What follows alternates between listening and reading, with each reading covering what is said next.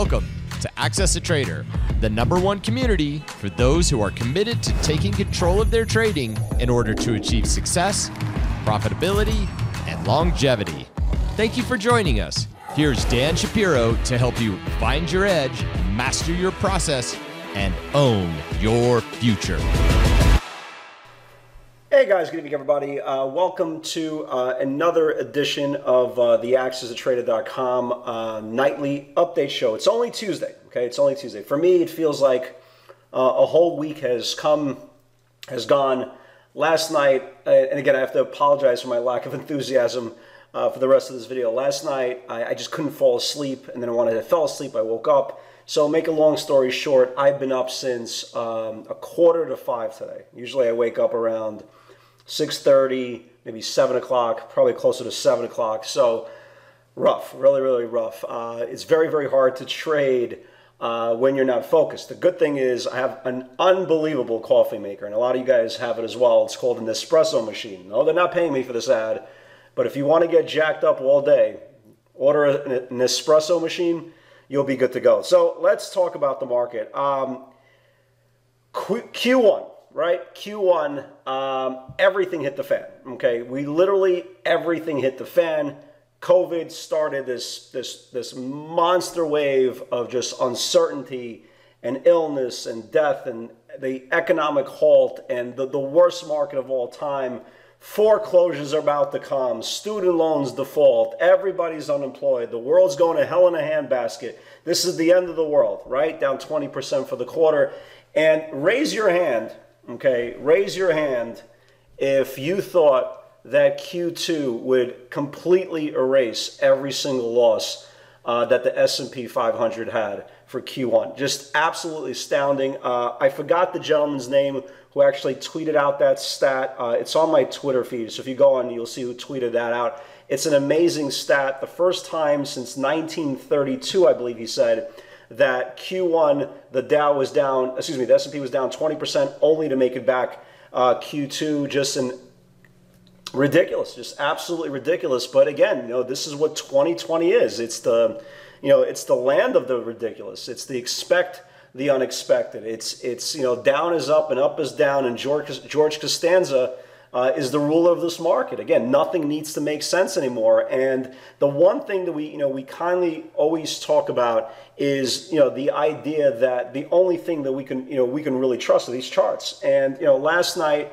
again, if you even if you've been following this broadcast just for the last couple of weeks, again, we just try to win the day's interval. That's it. We try to win the day. We're not trying to predict what happens. Obviously, we have an opinion what's going to happen next day. We have a game plan to what's going to happen next day. But until that plays out and gets confirmed, again, is just an opinion. It's just a game plan. Again, we're not trying to uh, guess the closing prices. So uh, yesterday, just to kind of rewind, uh, again, the Bears really dropped the ball. They confirmed the previous channel, right? They went lower. Phenomenal flushes yesterday. You know, I don't think anybody could turn around and say there was a phenomenal flushes in anything you traded yesterday on all beta names. Phenomenal job uh, by really, really aggressive rug pull. But then the Bulls did an equally better job in reclaiming, right, reclaiming this rising support. And I basically said in last night's video, if you believe, you know, again, if you believe in most basic technical analysis and trust their mirroring process, again, this closed yesterday, right? Looked like this closed. Again, both reclaimed uh, rising support. So the bias was to the upside today, right? And, you know, we talked about the names, you know, the Teslas of the world. We'll get to that and just uh, the, the, use the word unbelievable move is, is pretty much an understatement. But, you know, again, we talked about Tesla last night. You know, we talked about uh, the macro levels for weeks. That 1020 level kept on getting rejected for weeks, for weeks, for weeks. And the same thing that we started seeing uh, yesterday, right from a pre aggressive run up in shares of Tesla, which we started showing you yesterday from that sneaky 990 area, okay, that confirmed and did the right thing and kind of reclaimed supply, you started seeing the same patterns. If, if you kind of go through, and forgive the phone ringing as I record, but if you kind of go through these videos, you know, week after week after week, the stocks that really aggressively break out start seeing very, very aggressive option flow. And we started seeing that option flow about a week and a half ago as Tesla was coming back from a pretty good run, from that initial breakout uh, from that nine, I think it was that, that 835, that 835 initial breakout. So I had this really, really big run. Um, so it was set up, okay? It was set up today. Uh, a lot of names on the NASDAQ composite were kind of set up the same way. Again, we talked about uh, basic technical analysis, inverted hammer is bearish, hammer, right, is bullish. Uh, and we, we got the move today, right? We got the move today uh, in the indexes. Um, what was important about today's move was that the market actually opened up lower. And, and I, I turned around and I said pre-market, oh God, don't, don't, don't tell me we're going to roll over, right? Now that we've actually reclaimed supply, you're, you're going to explain to me like I'm two years old and try to convince me that we're going to roll over. You know, so again, we let the market play out. Okay, when you have a plan, I've been saying this uh, every single night, you have to let your thesis, you have to let your, um, your, your, your research from the night before tell you you're wrong, right? um, to kind of look at a different direction. And you know, today we would definitely uh, buy bias. Okay, you'll you know you'll quickly see uh, just off the pivots today. Uh, Tesla obviously was the was the moonshot of all moonshots. Um, Facebook had a great dead, dead cat bounce. Uh, even Beyond had a great dead cat bounce. Um, NVIDIA went absolutely berserk today uh, off of the Micron uh, really good earnings. Ironically, Micron actually failed today at the top of the channel. We'll, show you that in a second. Uh, but ultimately, the Bulls did uh, a tremendous job, just a really tremendous do- job, not only uh, today, not only yesterday defending uh, the range, but they defended the range here and here and here and here. And this is all through Corona, Corona, Corona, uh, economic damages, 45, 50 million people unemployed, just an, an unbelievable job uh, for the bull nation, okay? And again, nobody knows uh, what the next quarter is going to bring. Uh, you can guess, you can have a theory, uh, you can say whatever you want. Again, our opinions don't matter. I'm an idiot, okay?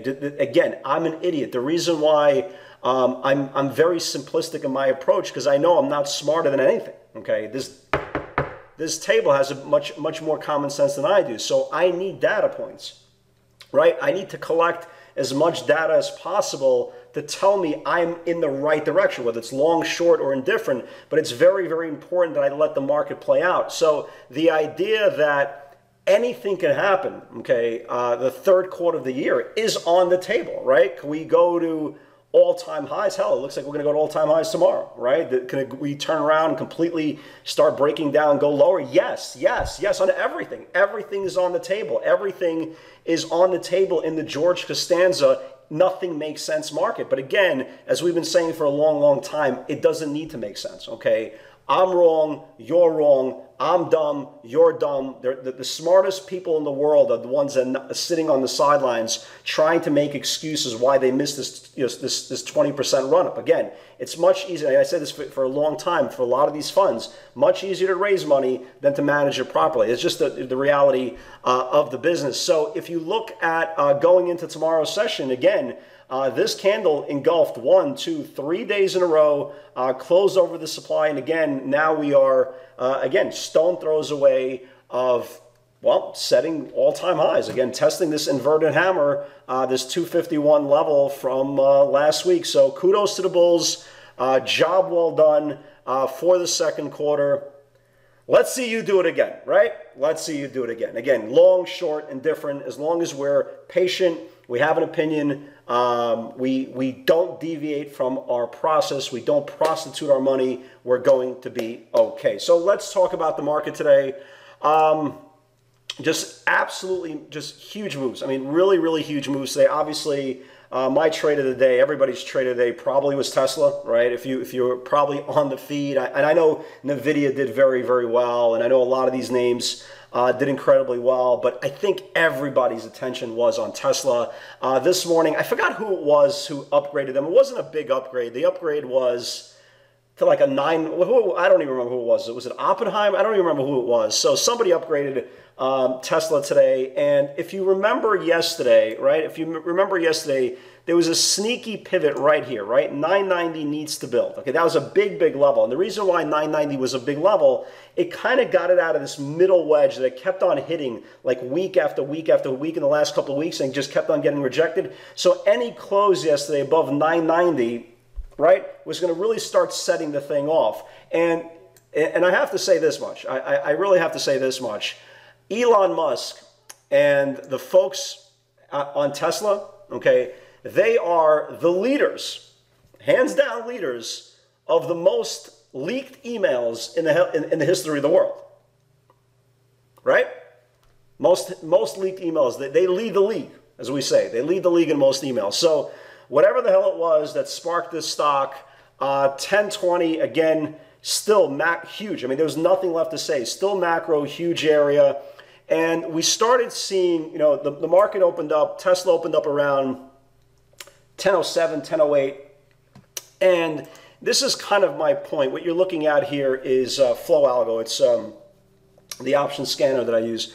So we started seeing really, really early aggressive option call flow coming in very, very fast. Okay. So right off the open, okay, literally right off the open. First of all, yesterday somebody bought the 15, the July 1500 calls. So I thought right away, you know what? There's something brewing, right? Again, it's it's the prelude to the kiss. And this morning you started seeing, you know, somebody comes out and buys the 1025, uh, 1025 weeklies expiring on Thursday. We knew that was going to be the big level. And then you started seeing really aggressive call buying.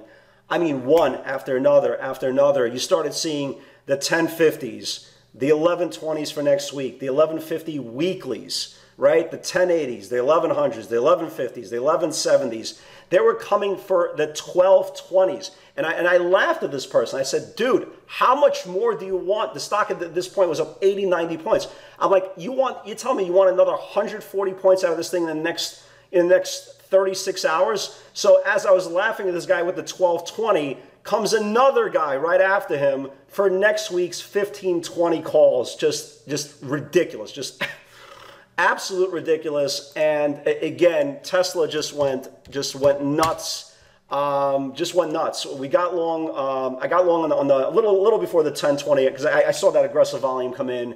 Uh, here is the 1020, right? Here's the 1020 that we've been talking about for for weeks, uh, ever since uh, June the 11th. So we're talking about three weeks, right? Three weeks of consolidation, and it just went nuts. I mean, just absolutely nuts. Um, I thought it was going to get to 1060.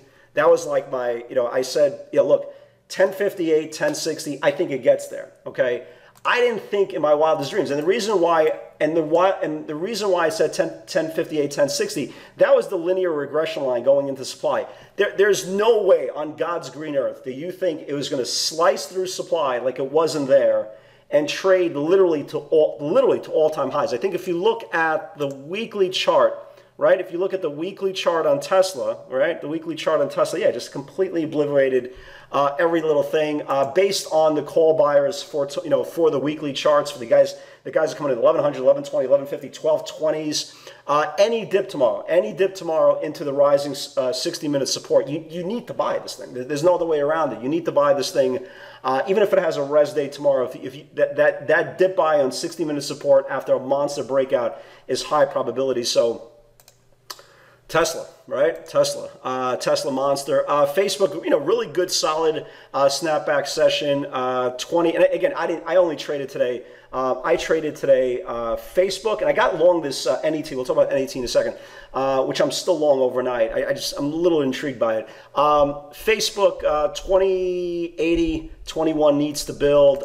Facebook, you know, went nuts. Actually, had a really really big move. So. Uh, here's the 2080, right? Here's the 2080. Completely went through it. Just had a really big move here uh, to 227. If you did trade Facebook today, uh, congratulations. Uh, FSLY never got down to 76. Uh, INSG complete dud. 1180, uh, 12 needs to build. I think it only went to like 12 and change, right? It went to like 12, 10, and it just completely died on a vine. So nothing there. Uh, MU, which is so ironic, because MU is the reason why NVIDIA Spark, we'll talk about that in a second, it failed. It, it, it kept on getting rejected at 50, uh, 5240s. Um, it got rejected literally three times before it sold off uh, a couple of bucks. Uh, again, ironically, because of MU, which stalled out, NVIDIA actually had a monster day. Uh, 373 needs to build on NVIDIA. Here was uh, NVIDIA, right? So here's a 373, just absolutely went nuts. You know, went nuts, put up a seven, eight dollar candle uh, in the first 15 minutes or so. Big, big move.